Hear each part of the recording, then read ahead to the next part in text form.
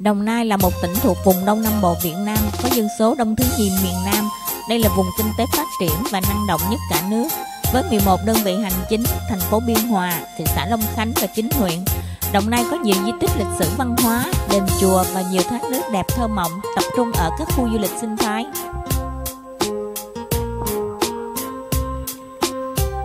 Thành phố Biên Hòa là đô thị loại 1, đây là trung tâm công nghiệp quan trọng của cả nước.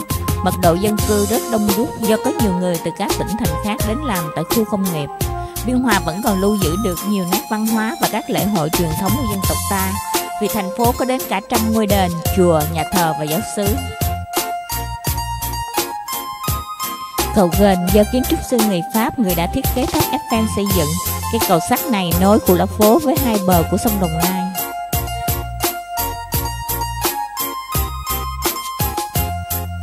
Thị xã Long Khánh là vùng kinh tế trọng điểm phía đông của tỉnh Đồng Nai, nằm trên nhiều tuyến đường giao thông huyết mạch. Thị xã có vị trí rất quan trọng về kinh tế, chính trị và quốc phòng đối với tỉnh và của cả khu vực.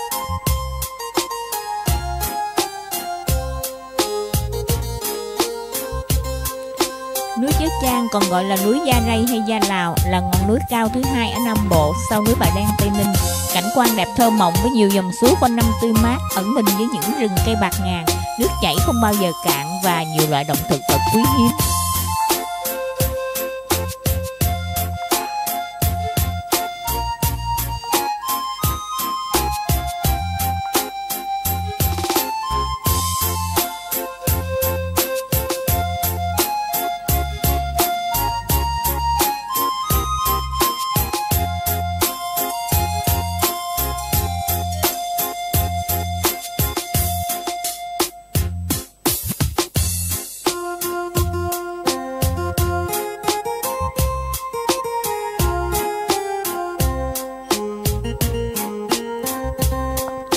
Đá Ba Chồng, một di tích cấp quốc gia cao 36 m thuộc di chỉ văn hóa ốc eo Phù Nam nằm ở thềm cao nguyên trong Nam Bộ. Người ta đã tìm thấy nhiều công cụ sản xuất sinh hoạt của người xưa bằng đá, đồng, đất nung ngay tại đây.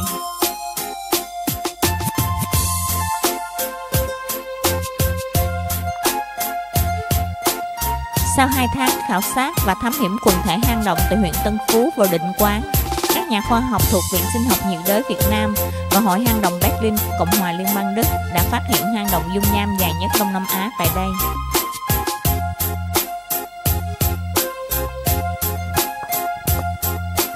Hoang sơ, rộng lớn và nguy hiểm rình rập là những gì người ta miêu tả về thác Ba Giọt, nổi tiếng bậc nhất ở Đồng Nai, vùng đất của đá và thác gần. Thác Ba Giọt là một trong số những thắng cảnh hiếm hoi vẫn giữ được nguyên vẹn cảnh quan thiên nhiên của nó.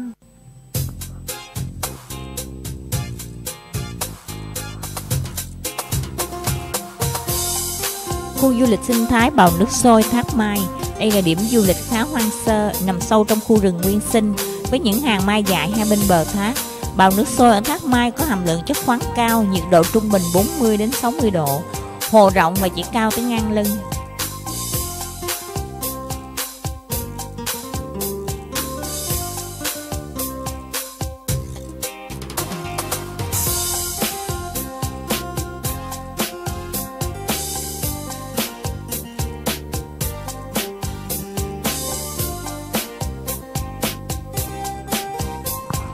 Lẫn khuất sau những đồi rừng của tỉnh Đồng Nai vẻ thanh bình của một làng quê hiền hòa. Quanh những vườn cây trái triệu quả của người dân, thác đá hàng hiện lên như một bức họa đồng quê với những thảm cỏ hoa trải dài thơm ngát trên một vùng thiên nhiên hoang dã, rất đẹp mắt.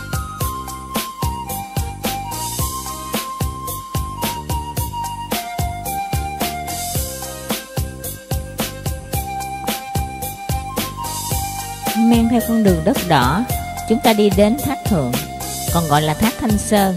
Thác hiện ra với những bãi đá nhiều hình thù lạ mắt rộng chừng 10 hecta, hàng chục dòng nước chảy len lỏi qua các gành đá cao, cây, bụi tạo thành vô số dòng thác nhỏ trông rất đẹp mắt.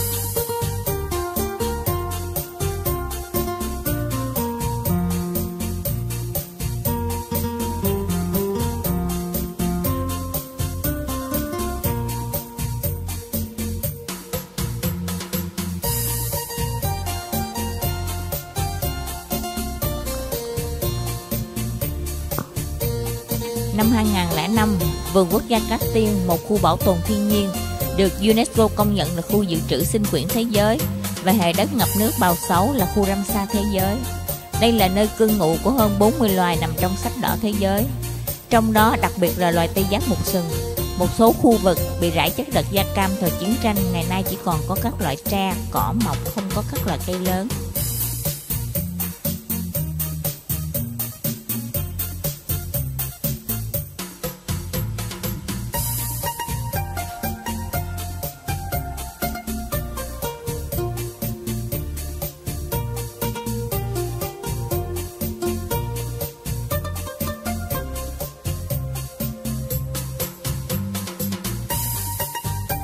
Trường mầm non tại Đồng Nai do nhóm kiến trúc sư Võ Trọng Nghĩa, Trần Thị Hằng và một số kiến trúc sư người Nhật.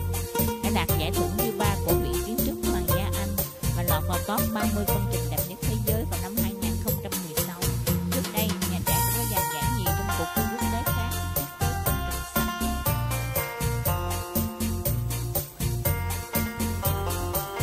Văn miếu Trấn Biên là văn miếu đầu tiên được chúa Nguyễn Phúc Chu cho xây dựng tại xứ Đàn Trong vào năm 1875 ở một thương cảng khá sầm uất thời bấy giờ là Cù Lao Phố, nhằm tôn vinh các doanh nhân văn hóa và làm nơi đào tạo nhân tài nước Việt.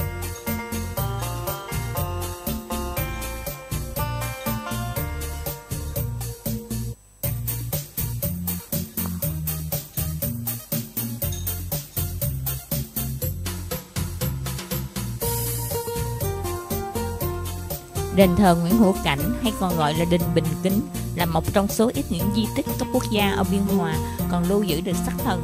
Trong đó ghi rõ tên họ, chức tước vinh hiển, thứ bậc thượng đẳng thần của vua Phong Cho.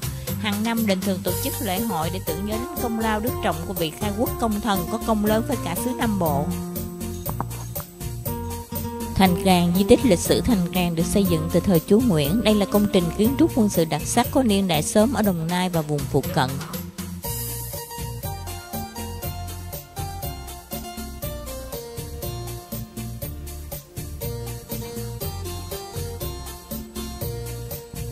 Chiến khu D là mật danh của Tổng hành dinh khu 7, đóng tại miền Đông Nam Bộ của mặt trận Việt Minh, quân đội nhân dân Việt Nam trong chiến tranh Đông Dương và của mặt trận dân tộc và quân giải phóng miền Nam Việt Nam trong chiến tranh Việt Nam. Chiến khu chạy dài từ biên giới Việt Nam, Campuchia đến gần sát các thành phố Sài Gòn, Biên Hòa, Thủ Dầu Một. Nằm giữa lòng chiến khu D là đồi bằng lăng, những cái bằng lăng cổ thụ cao trên 20 mét thường bồng rùa là nguồn cung cấp thực phẩm, nước uống cho cán bộ chiến sĩ năm nào dù đã từng một thời hứng chịu mưa bom, bão đạn và chất độc hóa học hủy diệt trong cuộc kháng chiến chống Mỹ. Cây bằng lăng vẫn ngạo nghệ vươn thẳng lên trời xanh, với cành nhánh xum xuê phủ mát cả ngọn đồi, lặng lẽ vỗ về giấc ngủ bình yên cho hàng ngàn người con đã quên mình vì đất nước.